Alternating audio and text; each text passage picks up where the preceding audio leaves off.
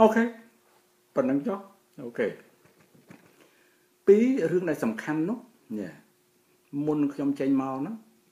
ខ្ញុំឃើញ Facebook មួយអាម៉ុកញ៉ាក្រោយពីគេដើរធ្វើនយោបាយប្រជាពិធបោកប្រាស់កម្មករគ្រប់ទីកន្លែងហោហែមកហ្នឹងហើយមកអនាឡាយមើលទៅឃើញថាវាអត់ទៅមុខដូចដូចការគ្រប់គ្រងវាតិចពេកឬក៏គ្រប់គ្រងតែចំពោះមុខចេញពីមុខ ទៅនឹងអត់បានជាខ្ញុំនិយាយអញ្ចឹងហ្នឹងគឺយើងស្ដាប់មតិទាំងអស់អ្នកនៅចិញ្ចើមខ្នល់លើផ្លូវកន្លែងហូបចុកទទួលទានគ្រប់វណ្ណៈសត្វវណ្ណៈនៃមនុស្សហ្នឹងគឺថាយើងសួរទៅហើយខ្ញុំសួរទៅគេនិយាយប្រាប់គេអត់ដឹងថាខ្ញុំមកពីណាទៅណាមកណីទេពួកខ្ញុំជាអ្នករត់ទៅលុកទុកនិយាយមកអត់ផ្លូវទេ ហើយសម័យខ្លួនក៏ដឹងអញ្ចឹងដឹងថាអត់ផ្លូវទៅមិនរួចតែទៅមិនរួចហ្នឹងការពិសោធន៍មើលចោះប្រជាពលរដ្ឋមើលឃើញឃើញថាចំណាយពេលច្រើនណាស់បើនិយាយមែនតើជាប់3ខែ4ខែ ក្នុងការដែលក្នុងអាមុខដែលដែលធ្វើបេសកកម្មរៀងរាល់សឹងទាំងរៀងរាល់ថ្ងៃក្នុងមួយសប្តាហ៍ពីកន្លែង3កន្លែងទៅជួបកម្មករតាមរោងចក្រព្រោះត្រូវការសិលឹកឆ្នោតពីកម្មករ ហើយក៏ត្រូវការឲ្យកម្មករបះបោដោយប្រការណាមួយ ប្រឆាំងនឹងការដែលពិភពលោកកាត់ជំនួយអីសពបែបយ៉ាងវិស័យកាត់ដេរហ្នឹងដូច្នេះត្រូវយកកម្លាំងកម្មករប៉ុន្តែកម្មករហាក់ដូចជាទាញគេមិនបានព្រោះគេយល់ច្បាស់ណាហើយគេស្ម័គ្រចិត្តនឹងនឹងសុខចិត្តវេទនានេះ3 4 5ខែឧទាហរណ៍អញ្ចឹងចុះតម្រាំតានឹងដោះស្រាយបានដោដោអានឹងចេញបាទ យ៉ាងណាមិញដែលដែលធ្វើឲ្យគេគេមិនមានជំនឿសោះត្រង់ថាទៅនិយាយបញ្ចុះបញ្ចូលកម្មករឧទាហរណ៍ថានៅភ្នំពេញខាងលិចភ្នំពេញអញ្ចឹងទៅប៉ុន្តែអាតាខ្មៅនោះកម្មករបះបោនៅចាក់រ៉ែនោះអានៅខេត្តណាមួយនោះកម្មករបះបោដែរអត់មានបំណោះស្រាយគ្នាបះបោពីលុយកាក់ប្រាក់ខែប្រាក់ថ្ងៃប្រាក់រង្វាន់ច្បាប់ការងារសពបែបយ៉ាង អត់មានអាមុខណាបញ្ជាអា đây ណែមន្ត្រីរបស់ខ្លួននឹងទៅឲ្យធ្វើការដោះស្រាយអត់មានសោះមកហើយឥឡូវបាត់មនុស្សឥឡូវនេះកម្មករនោះគឺថាបានន័យថាលែងខ្លាចក្នុងការធ្វើបាតកម្មលែងខ្លាចដោយមើលឃើញថារដ្ឋាភិបាលអត់ហ៊ានណាអត់ហ៊ានត្រង់ថាបើកាលណាធ្វើខ្លាំងវាប៉ះពាល់នឹងច្បាប់អន្តរជាតិដែលគេកំពុងតែប្រឈមមុខមើល អានឹងមួយទៅពីរខ្ញុំចង់និយាយថាស្លឹកឆ្នោតនេះវាអាចនឹងអត់តែហ៊ានធ្វើម៉ោងម៉ាំងដល់ថ្ងៃបោះឆ្នោតគេអត់បោះឲ្យដល់អញ្ចឹងជាថ្នមនេះកម្មករឥឡូវបានចិត្តបងប្អូនបើបងប្អូនបានទៅជួបដូចខ្ញុំមកបានចិត្តម្នាក់ម្នាក់គឺថាបនអត់តែមានរឿងនេះអានធ្វើបាតកម្មហឺណានេះអួយនេះ បើមួយថ្ងៃត្រូវបាយ3ពេលបាយតែ2ពេលបានណាក្មួយកាប់មកពេលចោលយកមកធ្វើបាតកម្មគឺកុំឲ្យវាដេកលក់ស្រួលរឿងយើងមើលទៅឃើញអញ្ចឹងហើយបងប្អូនអត់អត់មានទេអញ្ចឹងវាធ្វើមិនសំដែងយករឿងអតីតកាលពីឆ្នាំ1977នៅពេលដែលខ្លួនរត់ចូលសោកយួននោះយកមកបំភ្លៃ មកថតរូបបញ្ចេញមកជាវីដេអូខ្លួននឹងយំស្រែកដើរកាប់ព្រៃបែកប្រពន្ធកូនបងប្អូនហើយតែឃើញរឿងរឿងរឿងឃ្លីបមួយហ្នឹងខ្ញុំគ្មានបដាបដាអីនេះគាត់ព្រោះខ្ញុំមកនេះអត់មានយកអីមកទាំងអស់បងប្អូនខ្ញុំអត់មានអីយកយកអីមកទេបាទខ្លាចវាប៉ះពាល់ព្រោះតែយកមកជារកាន់ទៅតាមអញ្ចឹងទៅគឺឆែកឃើញឃើញទៅវាតកតងរឿងវែងឆ្ងាយដូច្នេះខ្ញុំមកតែទេគុតតែមកអត់មានអីទេ អ្វីដែលវានិយាយមកបានន័យថាវាវាវាចាក់ប្រធានចាក់ប្រធានខុសសាច់រឿងខុសសាច់រឿងត្រង់ថា នៅពេលដែលចូលទៅដល់ស្រុកយួនក្នុងការរៀបរាប់គឺថាហ៊ុនសែនគឺជាមនុស្សទី1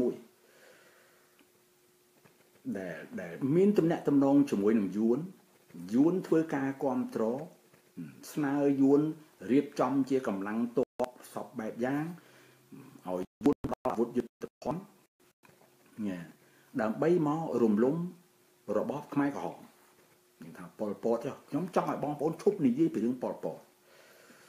រឿងប៉ុលពតរឿងប៉ុលពតឈ្មោះប៉ុលពតទៅប៉ុលពតមែនហើយប៉ុន្តែគេផាញ់រឿងនឹងទៅប៉ុលពតនឹងគឺដើម្បីគេដោះលៀងដោះស្រាយខ្លួនគេឲ្យចេញផុតពីពីរបបខ្មែរក្រហមពីពីអំណាចរបស់គេនៅក្នុងសង្គមរបស់នៅក្នុងរដ្ឋាភិបាលខ្មែរក្រហមគឺប៉ុន្តែខ្មែរក្រហមណា គឺគឺដើម្បីមកមករំលំរបបព្រៃផ្សៃរបស់ខ្មែរក្រហមនៅក្នុងប្រទេសនឹងឯងនឹងនឹងការដែលគេរត់ចូលទៅស្រុកយួនណារៀបរាប់មកមានកន្លែងខ្លះគេយំគេស្រែកគេឈរមកនឹកប្រទេសនឹកអីណានៃអញ្ចឹងណាអូខេបានន័យថាជារឿងបំភ្លៃពួកយើងត្រូវគិតថាគណៈរណសេសង្គ្រោះជាតិកម្ពុជា រណសេសាមគ្គីសង្គ្រោះជាតិកម្ពុជានេះដែលបានកើតឡើងនៅខែ12ឆ្នាំ1978ហើយចូលមកវាយរំដោះស្រុកខ្មែរនៅថ្ងៃ7មករាមេចលនានៃរណសេនោះគឺប៉ែនសវណ្ណហេងសំរិទ្ធនឹងជាស៊ីមអត់មានហ៊ុនសែនទេនេះបងប្អូនយល់ហើយខ្ញុំថ្ងៃ22ខែ1ខ្ញុំចូលដល់ភ្នំពេញខ្ញុំមិនដែលឃើញមុខហ៊ុនសែនតែមិនទេ ណាសូមសួរបងប្អូនជ្រាបអាហ្នឹងយើងទុកដោយឡែកអញ្ចឹងហោការដែលធ្វើសង្គ្រាមមកហោហើយការរៀបរាប់មកហ្នឹងគឺថាធ្វើឲ្យបងប្អូនយល់ដែរហើយនេះក៏ជារឿងដែលខ្ញុំសិក្សាក្នុងជីវិតខ្ញុំឃើញថាអញ្ចឹងមុននឹងយើងបង្កើតរណសេមុននឹងយើងស្នើសុំជំនួយបរទេសណាមួយឲ្យគេជួយយើងក្នុងការធ្វើអីមួយតាក់ទងនឹងការផ្លាស់ប្ដូររបបគ្រប់គ្រងរដ្ឋអំណាច ព្រោះយើងអត់ចេះធ្វើអាវុធយុទ្ធភ័ណ្ឌ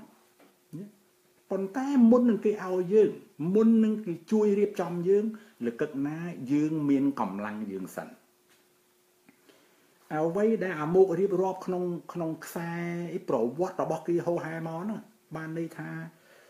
ជន់កែងឯងជន់កែងឯងឬក៏ធ្វើនោះវាល្ងងពេកល្ងងត្រង់ថា ជ័យជំនះថ្ងៃ7មករាកុំថាឡើយមានកងទ័ពយួនមកមកតាកងទ័ពដែលមានមេតា3នាក់នឹងកម្លាំងទ័ពដែលរត់ប្រជាប្រដ្ឋដែលរត់ទៅចូលស្រុកយួនមានការគេជួយមានការជួយបង្វឹកបង្វើនហាត់បង្ហាញពីក្បួនយុទ្ធសាស្ត្រពីយួនមកហ្នឹងមិនបាច់យួនចូលមកទេក៏អាចឈ្នះដែរក៏អាចផ្ដួល របបខ្មែរក្រហមនឹងបានដែរដែលហៅថាបាននោះគឺថាប្រជាពលរដ្ឋទាំងគេទាំងខ្ញុំទាំងអស់គ្នានឹងពោពេញទៅដោយការចិញ្ចឹមឲ្យតែមានអ្នកណាងើបមួកឡើងមួយមកនោះអាំងនាំនេះទៅជួយជួយទៅសហប្រតិបត្តិការដើម្បីរំលំរបបនឹងចោលព្រោះជារបបព្រៃផ្សៃហើយនេះប្រជាពលរដ្ឋបើអស់ទឹកចិត្តអាលីងពីរដ្ឋាភិបាលដូច្នេះបើមានកម្លាំងតែ10000នាក់ឲ្យតែមានអាវុធយុទ្ធភ័ណ្ឌគ្រាប់អង្សេវមកនឹងគឺថារំលំពួកខ្មែរក្រហមបាន យ៉ាងស្រួលបំផុតគឺកម្លាំងពលរដ្ឋហ្នឹងឯងមកដល់ឥឡូវនេះខ្លួនយល់ថាអញ្ចឹងដែរខ្លួនស្នេហាជាតិខ្លួនលះបង់សពបែបយ៉ាងរត់ទៅពឹងគេពឹងឯងមករំដោះប្រទេសជាតិសួរថាពីចាប់តាំងពីខ្លួនបានជ័យជំនះរហូតមកដល់ថ្ងៃដែលនិយាយគ្នានេះខ្លួនបានធ្វើអីខ្លះទៅលើប្រជាពលរដ្ឋបើខ្លួននិយាយថា ខ្លួនមានកម្លាំងប្រជាពលរដ្ឋ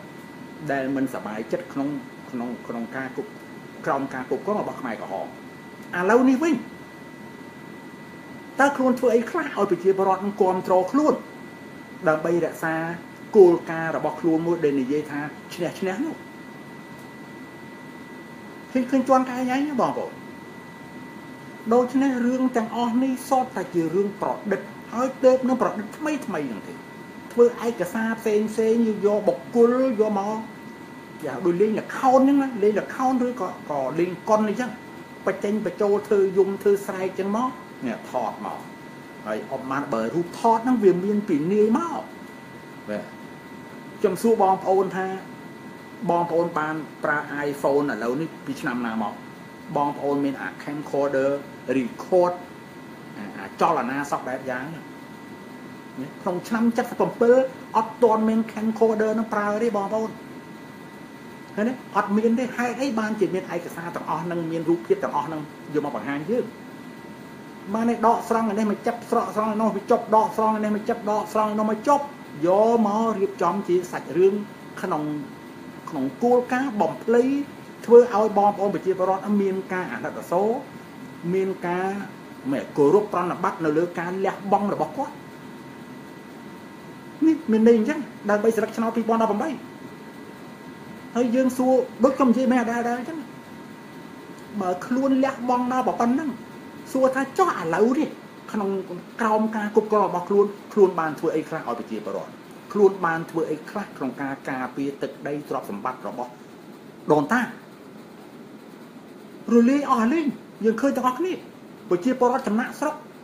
ភាពក្រីក្រលហេមលហាមអ្នកមានអំណាចរឹបអូសយកទ្រព្យសម្បត្តិរបស់អ្នកទុនខ្សោយអ្នកក្រីក្រ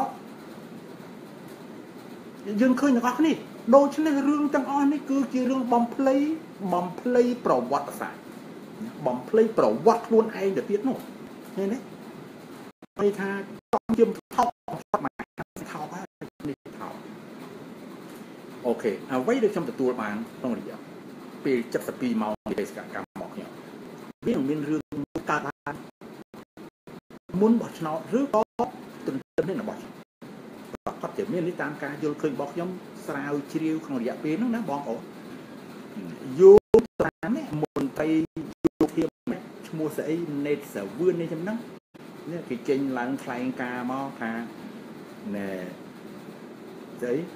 មន្ត្រីភូមិឃុំដែលជាអតីតរបស់គណៈបកសង្គ្រោះជាតិត្រូវបានទទួលពីច្បាប់តុលាការ សម្រាប់មិនអោយធ្វើនយោបាយតទៅទៀតហ្នឹងឥឡូវហ្នឹងពួកហ្នឹងនាំគ្នាប្រម៉ែប្រមូលប្រុងប្រៀបនឹងធ្វើចលនាមួយដើម្បីប្រឆាំងនឹងរដ្ឋាភិបាលហើយនៅតាមបណ្ដោយព្រំដែនខ្មែរថៃឃើញទេគេនិយាយមកចឹងហើយខ្ញុំទៅជួបអស់លោកមួយចំនួនណាអស់លោកមេភូមិមេឃុំដែលមកពីគណៈដែលជាអតីតគណៈបកសង្គមជាតិ ខ្ញុំមកនេះក្នុងបេសកកម្មហ្នឹងដូចដែលអឺខ្ញុំបានជម្រាបបងប្អូនមុនខ្ញុំចេញដំណើរមកខ្ញុំមិនបានជួបទាំងអស់ទេខ្ញុំជួបបានតែគួយណាបងប្អូនដោយរយៈពេលវាខ្លីហ្នឹងមួយទៅពីរស់នៅដោយឬក៏ធ្វើដំណើរក្តីដោយការប្រុងប្រយ័ត្នជាទីបំផុតហើយសូមបីតាថតរូបជាមួយគ្នាក៏មិនហ៊ានផងមិនហ៊ានថតទេហើយការដែលទៅជួបនឹងទៀតបានន័យថាឲ្យខ្ញុំដើរទៅជួបតែម្ដងអត់ទេ គឺថាខ្ញុំទៅឋានាមួយអង្គុយឲ្យស្ងៀមជាមួយមិត្តភ័ក្តិនៅខាងក្នុងអញ្ចឹងទៅហើយទៅអញ្ជើញអ្នកខាងនោះនឹងមកមកអង្គុយញ៉ាំតុកក្បែរនេះជ្រុងណាមួយអង្គុយនេះនិយាយលេងពីនេះពីនោះអញ្ចឹងទៅមកកន្លែងបានម្នាក់ពីរមកកន្លែងបានម្នាក់ពីរមកពន្យល់ឲ្យយល់ឲ្យស្គាល់ថាខ្ញុំនេះហើយមកហើនជួបបងប្អូនហើយបាទខ្ញុំខ្ញុំខ្ញុំអាណិតគាត់ខ្ញុំ ទុកចិត្តលើគាត់គាត់គាត់ពិតជាស្នាក់ស្នេហាជាតិស្មោះត្រង់មែនបើសិនជាអ្នកទាំងអស់នោះមិនស្មោះត្រង់ជាមួយខ្ញុំមិនស្រឡាញ់ជាតិទេ ក្នុងរយៈពេល72ម៉ោងក៏ខ្ញុំមានការរស់នៅពិបាកដែរមានពិបាកអាចនឹងគ្រោះថ្នាក់ច្រើនណាស់តោះនឹងឯងអូខេឃើញថាវាអត់មាន អត់មានគម្រោងអីរបស់អស់លោកនឹងអត់មានគម្រោងអីរបស់ខ្ញុំអត់មានគម្រោងអីរបស់អ្នកដទៃណាទេដូច្នេះរឿងអស់នេះនៅពេលដែលគេធ្វើនយោបាយដោះស្រាយលែងចេញដើម្បីយកជ័យជំនះក្នុងការបោះឆ្នោត2018ទេវានឹងមានណាវានឹងមានព្រឹត្តិការណ៍អីកើតមួយឡើងគឺថាធ្វើឲ្យរំខានដល់ការបោះឆ្នោតហ្នឹង ជាអាសាបងអត់បានការអីមកតែតាមពិតគ្នាគេគេបង្កើតគ្នាគេនឹងឯងហើយដូច្នេះអាគ្នាគេដែលបង្កើតហ្នឹងយើងជាពលរដ្ឋមានការឈឺចាប់មិនបានគិតគូរថាតើរណសេ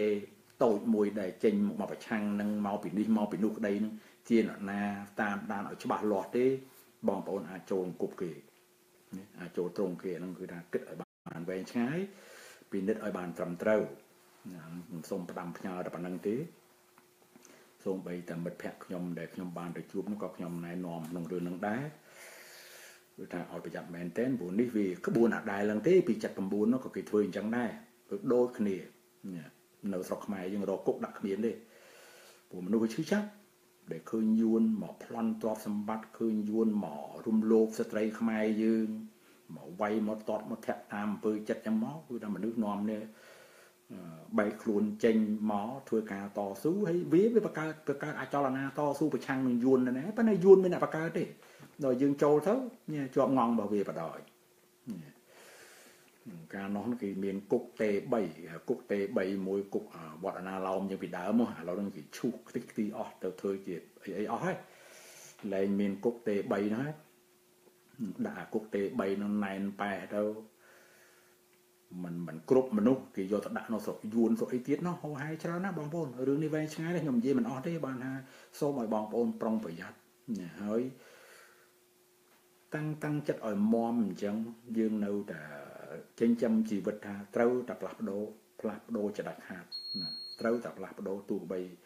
ការផ្លាស់ប្ដូរជួបប្រទះនឹងស្អីក៏ដោយចោះវាត្រូវតែរួបរวมគ្នាងើបឡើងផ្លូវចិត្តក្លាហានប្រើអមធ្យោបាយ ពីគ្រោះគ្នាពីមួយទៅមួយឲ្យបានល្អន់ហើយត្រូវតែនាំគ្នាងើបឡើងបាទវាវាអត់មានតទៅ2019បានទេបងប្អូនវាត្រូវតែជំរះបញ្ជីគ្នា2018ហ្នឹងมันអាចនៅយូរតទៅទៀតបានទេខ្ញុំហាក់ដូចជាកន្លែងនេះបងប្អូនអើយលាក់លៀមនៅខាងក្រោយផ្ទះទេខ្ញុំមិនប្រាប់ថាកន្លែងណាទេប៉ុន្តែផុតពីព្រៃខ្លាហើយហើយនៅប្រហែលម៉ោងទៀតខ្ញុំនឹង ឡើងទៅជួបបងប្អូនវិញហើយប៉ុន្តែយូរបន្តិចអាផ្លូវទៅវិញនោះដល់ទៅអង្កាលចំមកវាតែ24ម៉ោង23ម៉ោងជាងទេ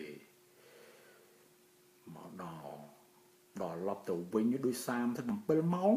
ខ្ញុំទៅចាំកន្លែងណាមួយនោះដល់13ម៉ោង11ម៉ោងប៉ុន្តែអូខេបេសកកម្មយើងបានជោគជ័យហើយនៅតែមានកម្លាំងអញ្ចឹងដេកតែមិនមែនដើររលីសៃរែកពុនណា ដូចសម្រាកអញ្ចឹងទៅបងប្អូនជួលអូតែលក្បែរនឹងមួយដេកសិនជិតដល់ម៉ោងចាំយើងឡើងមកណាអូខេមិនបញ្ហាទេហើយរឿងអស់នេះខ្ញុំដើរឆ្លងកាត់អស់ហើយដេកក្នុងព្រៃភ្នំក្រំថ្មដេកបានមកដេកនៅវាលយន្តហោះមានរឿងអីដែលត្រូវតូចចិត្តអត់មានតូចចិត្តទេមិនចឹងទេបងប្អូនរឿងច្រើនដែលត្រូវនិយាយគ្នាប៉ុន្តែចាំម្ដងចាំម្ដងផ្ទះយើងយើងនិយាយគ្នាអ្វីដែលខ្ញុំអាចជម្រាបជូនបងប្អូនបាន គម្រោងស្ដាយណាស់ថាចង់ទៅឲ្យតន់ដើម្បីទៅរួមធ្វើបាតកម្មគេដែរតាព្រោះឮថាគេធ្វើបាតកម្មនៅ Seattle Washington State ហើយនិង California ប៉ុន្តែខ្ញុំមិនដឹងថាខាងកើតមកគេធ្វើឬមិនធ្វើទេក៏ប៉ុន្តែហើយមិនបញ្ហាទេខ្ញុំគិតថាបើសិនជាខ្ញុំមកទេសកកម្មនេះបានជោគជ័យប៉ុណ្ណេះហើយ ការខកខានមិនបានទៅចូលរួមធ្វើបាតកម្មសម្រាប់ខ្ញុំម្នាក់ហាក់ដូចជាវា មិនមានអីខាតបងទេបងប្អូនរាប់រយពាន់អ្នកនៅក្បែរនឹងនាំគ្នាងើបឡើងធ្វើទៅមិនចឹងឯងបងប្អូនចែកចែកផ្លូវគ្នាធ្វើប៉ុណ្ណឹងឯងខ្ញុំសូមឲ្យបងប្អូនមេត្តាអធិស្ឋានជួបបងប្អូនបានប៉ុណ្ណេះទេហើយណែយើងនឹងជួបគ្នានៅពេលឆាប់ឆាប់ខាងមុខនេះណាខ្ញុំនឹងទៅដល់ណយដូចថ្ងៃ7ហើយគម្រោងដែលខ្ញុំត្រូវចេញឲ្យផុតមុនថ្ងៃ7ហ្នឹងបានន័យថា ចាប់ពីថ្ងៃ6ថ្ងៃ7ហ្នឹងទៅតាំងតែតាមផ្លូវតាមអីហ្នឹងអាចនឹងជួបណាណាអញ្ចឹងខ្ញុំចេញផុតឲ្យហើយអូខេមានមានតែប៉ុណ្្នឹងទេបងប្អូន ទីបញ្ចប់គឺថានឹកអាលឹកមកបងប្អូនណាបាទបងប្អូននៅតាមសង្គម Facebook ណានឹកអាលឹកមានរឿងច្រើនដែលយើងត្រូវនិយាយគ្នាហើយឥឡូវនេះវាអត់មានឯកសារអីនឹងយកមកបង្ហាញបងប្អូនផង ចាំដល់ផ្ទះរបស់នោះនៅឯនោះទាំងអស់មិនហ៊ានដាក់តាមខ្លួនមកទេហើយសំខាន់បំផុតនោះគាត់នៅជម្រាបបុកជូនមកបងប្អូនថាខ្ញុំសុខសប្បាយជាទេណាប្រកបដោយសុវត្ថិភាពមិនយូរប៉ុន្មានទៀតទេខ្ញុំនឹងបានជួបបងប្អូនវិញហើយហើយយើងចាប់ដំណើរការយើងតទៅមុខទៀតរហូតទៅដល់ថ្ងៃបោះឆ្នោតមិនចឹងទេបងប្អូនណាអូខេអរគុណមានតែប៉ុណ្្នឹងទេសូមជម្រាបលាអរគុណ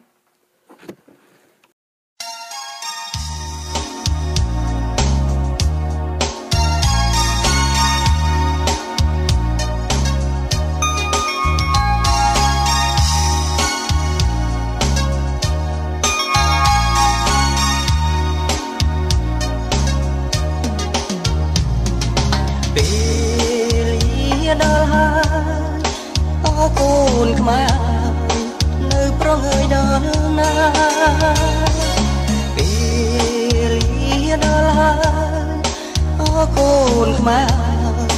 នៅប្រងើយដល់ណាព្រោះជាតិខេមរាត្រូវការត្រូវការរូបអ្នកទៀតហើយព្រោះជាតិខេមរាត្រូវការត្រូវការរូបអ្នកទៀតហើយអោ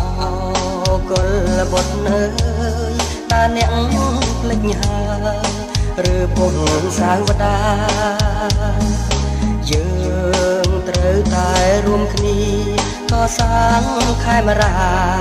ឲ្យបានគង់វិញឡើង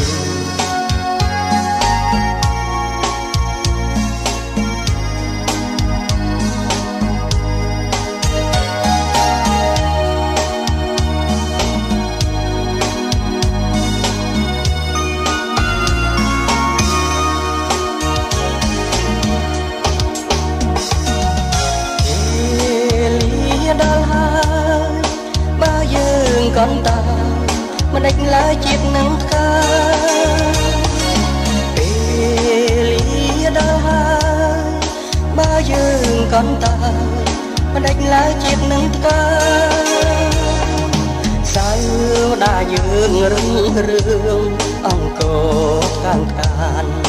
ដោយជាតិយើងសាមគ្គីសៅវតាយើងរុងរឿងអង្គរកានកានដោយជាតិយើងសាមគ្គីកុំមើលបំណាំគ្នា យើងត្រូវការពារពូជពងជាតិសាសនាក្រោកឡើងខែមរាចិត្តឆ្ងាយរួមគ្នាកសាងជាតិជាថ្មី